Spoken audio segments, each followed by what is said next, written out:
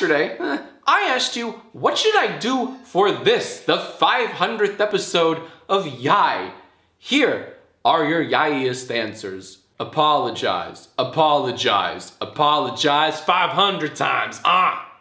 Nude YIAY, nude YIAY, nude YIAY, nude YIAY. Pull an old yeller on dogs. Take 500 shots whilst reading YIAY answers. A drinking game. What a Marvel idea. Charge people $10 to watch it. Nothing, Jack. This is not a milestone. It's a number of videos. Get your head out of the clouds.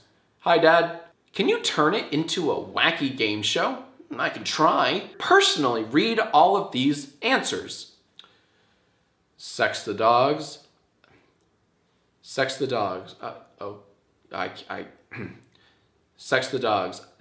I, I, this, this is too fast. I can't. Okay, that's offensive. Make a compilation of the best answer for the past 499 yais. I don't know, whatever you want.